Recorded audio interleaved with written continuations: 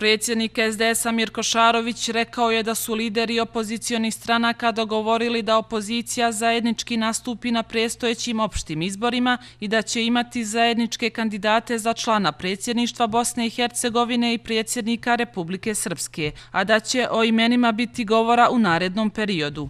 Vjerujemo da ćemo prve principe ovog zajedničkog nastupa, naše vizije, E, Republike Srpske u narednom četvorogodišnjem mandatu iznijeti na sljedećem sastanku e, opozicije, čiji će domaćin biti partija demokratskog progresa.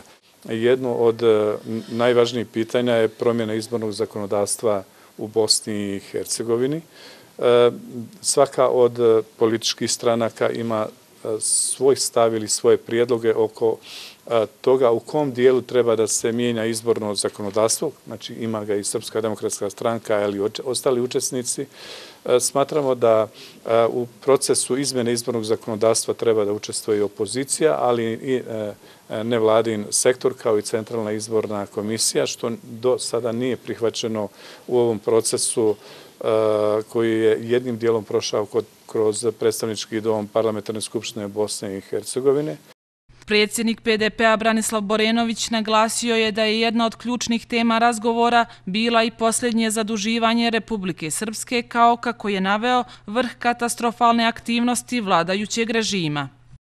Zadužiti Republiku Srpsku za 600 miliona konvertibilnih maraka po užasno visokim kamatnim stopama, najvišim, višim nego u Africi, 5%, kada se druge zemlje zadužuju, to jest emituju svoje obveznice po kamatnim stopama garantuju prinos manje od 1%.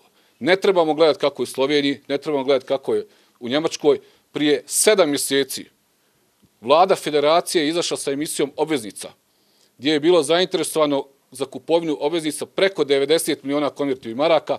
Oni su izdali 40 miliona, znači skoro 15 puta manje obveznica na tržištu kapitala i po kamatnoj stopi, vjerovali ili ne, 0,85%. To ću vam danas proslijediti da imate da vidite. Mislim da je bio 6. ili 8. 9. 2020. godine.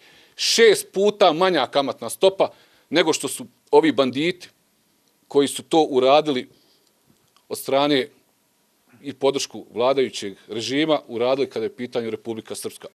Predsjednik DNS-a Nenad Nešić najoštrije je osudio izjave Bakira Izetbegovića i poručio mu da umjesto pominjanja rata shvati da je Federacija Bosne i Hercegovine po broju vakcinisanih građana u rangu sa Tanzanijom.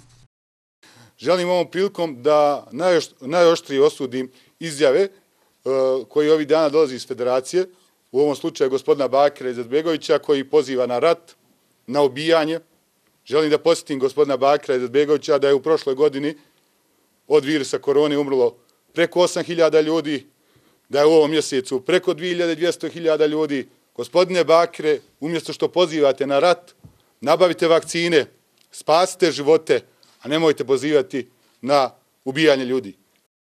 Nebojša Vukanović, poslanik u parlamentu Republike Srpske, ocijenio je da je izjava Bakira Izetbegovića o ratu skretanje pažnje sa pravih problema i afera.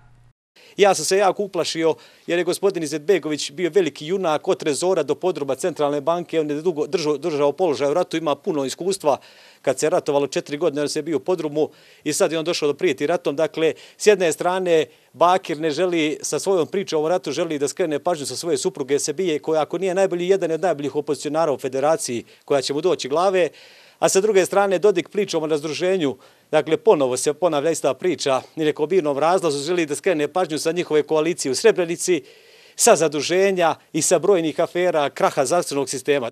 Lideri parlamentarnih opozicijonih stranaka na Jahorini su postigli dogovor da aktuelna opozicija izađe jedinstveno na izbore, a da će pojedinačne funkcije biti stvar dogovora. Da izaberemo najbolje među nama jer Republika Srpska je iznad stranačkog interesa, istakli su opozicionari na sastanku.